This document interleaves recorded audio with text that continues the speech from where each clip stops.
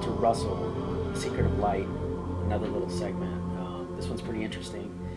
Well, they're all interesting. This one is about weight, uh, which you could also call mass. So, one of the strange things about the atomic and Newtonian view of physics is that um, gravity is caused by mass or weight of an object. But there's a huge fallacy here, um, and that is how do you measure the mass of an object that's floating in space? So the answer is you can't. There's all kinds of mathematical formulas you can speculate based on the area, the size of the object relative to other objects. But the point is is that you can't measure the weight of something unless it's resting on something else, some other piece of matter. So weight is relative to, uh, like basically, the human body weighs something relative to its rest on another piece of mass, which is the, the planet, the Earth that we're on. So if you're just floating in space, like our planet is, moving through space, there's no way that you can put a scale underneath it and, and weigh it. So technically, uh, it doesn't have any measurable weight.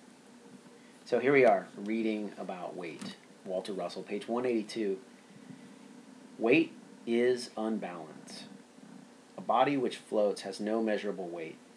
It is in balance with its environment.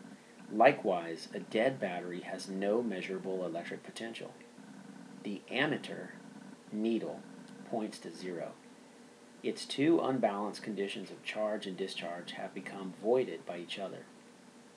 The measure called weight and the measure called electric potential are the expression of force which the two electric opposites of charge and discharge exert against each other at any point in the universe.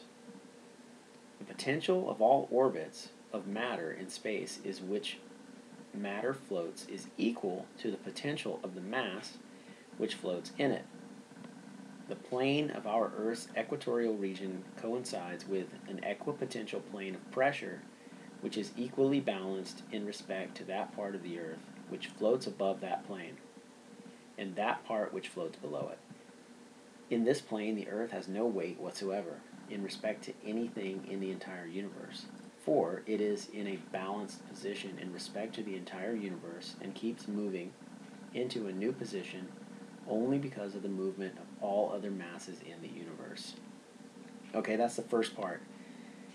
The way that I understand this is that uh, weight is unbalanced, which sounds really counterintuitive, but what Russell is saying is that we can only detect or measure, or actually, we can only weight only appears or actually is detectable when the object is in a state of unbalance, which means that its location along uh, electric light waves, which are, you know, cresting and troughing, undulating throughout the universe, uh, it, it only has weight when it's moved outside of the realm of equilibrium or balance. And I don't actually know exactly when that happens, but the point is is that when we look into the solar system and we see our planet or other planets floating around there, uh, they're in a state of equilibrium or rest. And that's why they're self sustaining and they just keep going and doing what they're doing. That's a harmony. Nature provides a harmonic. And um, Newtonian physics, uh, followed up by Einstein, basically says the opposite. They develop quantum mechanics as a theory, and the whole theory is based on on things that are out of balance. So it's not really an approach that is valid for me. I think the electric universe model is far superior simply because we can actually see it in nature we can actually see these things happening and measure them and verify them instead of just uh, create theories out of our minds. Okay, moving on. Our balanced Earth is weightless.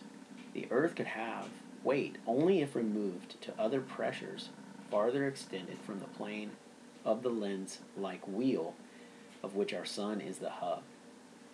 If it could be pushed toward the sun by some giant hand, it would seek balance in its own orbit when released.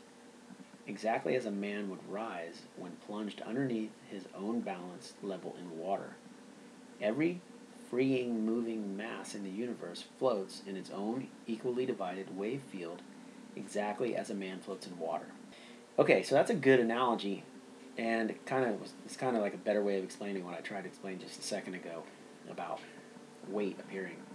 The point is again that nature in in this vortex solar system with planets floating around behind the moving sun in a vortex cone are self-sustaining. They know they know when to spin. They keep spinning and they're also they know exactly where to be in their orbit. The reason why this is is because nature is balance. Nature is constantly seeking equilibrium and maintaining it. When things go out of balance, from my understanding, they basically disintegrate uh, and get get destroyed, and basically just transformed into a pure uh, energy and then reused in um, a new way, in a new form. So when that happens, we can't see it. So the things that we see in nature, which is our, our reflection, our greatest teacher, uh, the things that we do see and the things that we can measure are, are all measures of balance or equilibrium. Okay, moving on. The moon is not falling upon the earth, as generally supposed, for it is in balance with its environment and cannot fall. Its contracted mass is equal to the expanded mass it displaces in the wave field. Now that's just basically saying the same thing about like a man being submerged in water. It displaces the amount of water that is equal to its mass. For the same reason, a cloud floats in the sky.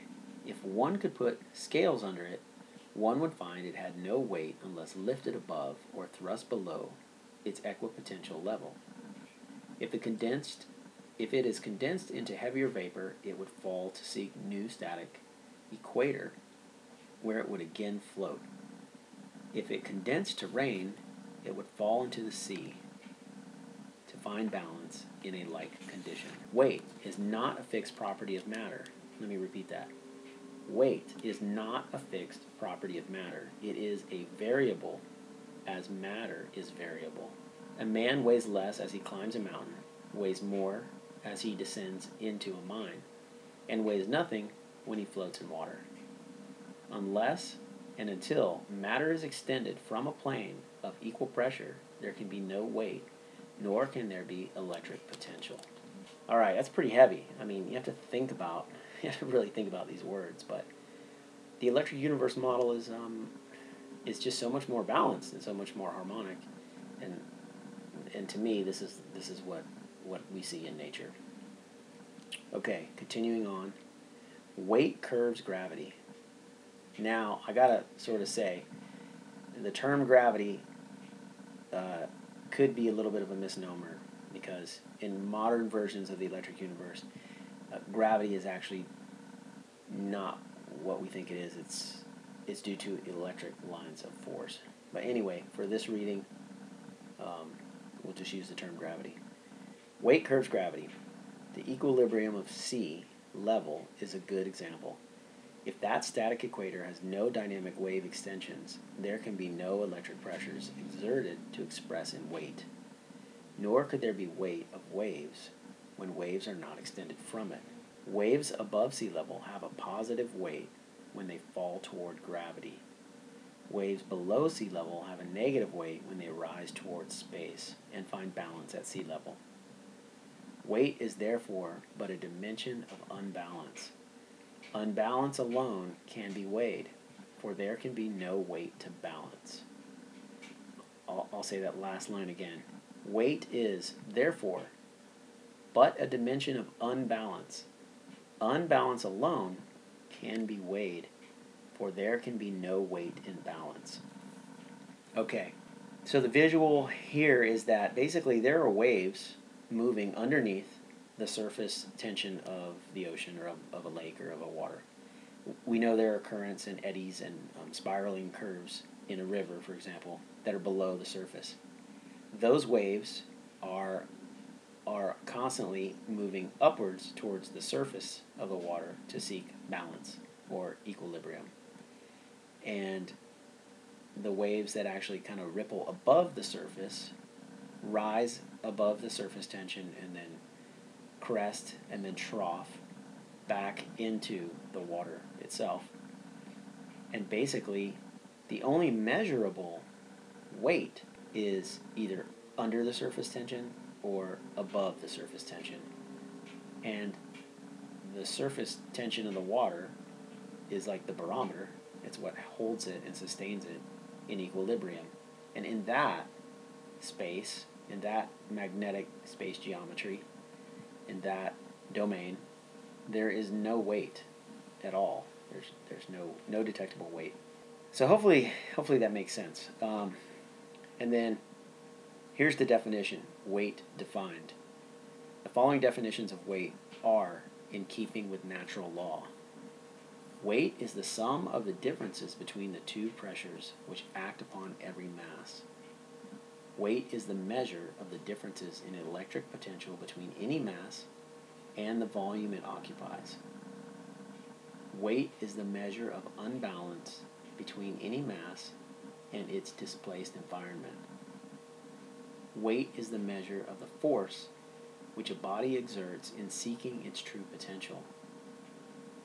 Weight is the sum of the difference between the inward pull of gravitation and the outward thrust of radiation. Weight is the measure of intensity of the desire within all matter to express motion or seek rest from motion. All right, so there you go.